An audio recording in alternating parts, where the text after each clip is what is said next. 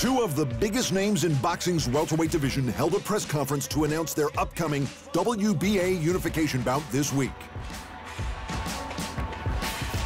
Keith Thurman, who holds the super version of the title, is undefeated and confident that he can continue his run of form against the Filipino legend. It's not the first fighter that I sent into retirement. You can't do this sport forever. I'm not gonna do this sport forever, okay? So at the end of the day, you know, in January, he stepped out of the, he was in the middle of the ring. They said, Manny, how do you feel? I feel good. I'm gonna fight again. Why? That fight took nothing out of him.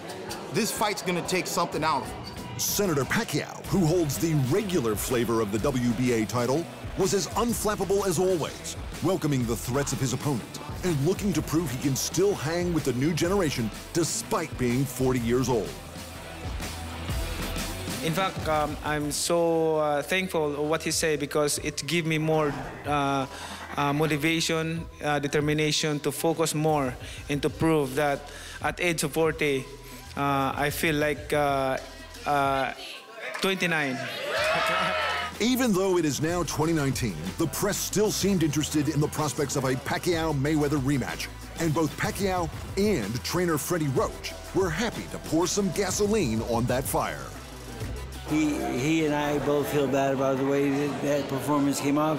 We didn't fight that well in that fight. We can do a lot better. We know that, and we want to prove it.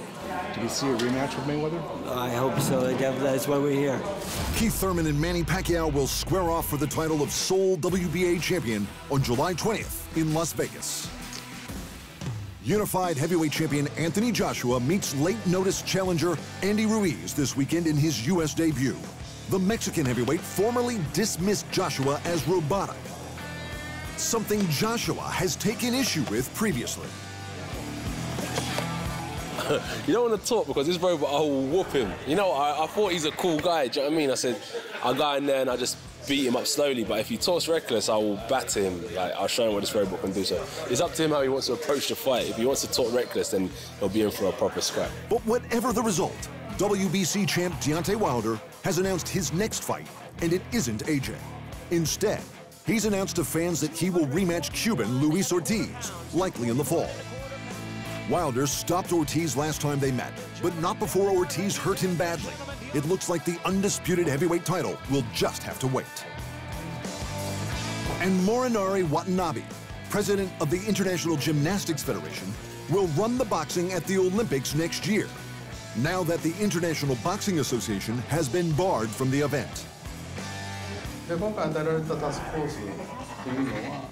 The main mission of the task force is to set up an appropriate environment for boxing. I would like to carry out that duty, which should have been done by the governing body.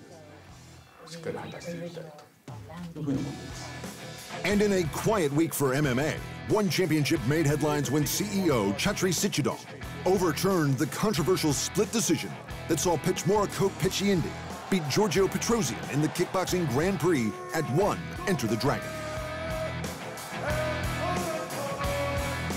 In fairness to all parties, the One Competition Committee has formally declared the bout a no contest. Sityodtong posted on social media.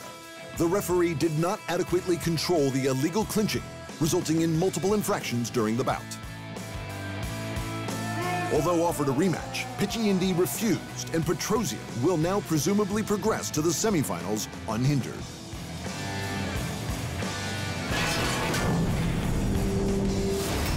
In the boxing, Jamel Herring upset Masayuki Ito. Ewa Brodnicka scraped out a majority decision to defend her belt, and Jessica McCaskill outpointed Anahi Sanchez to add the WBA title to the WBC one she already had.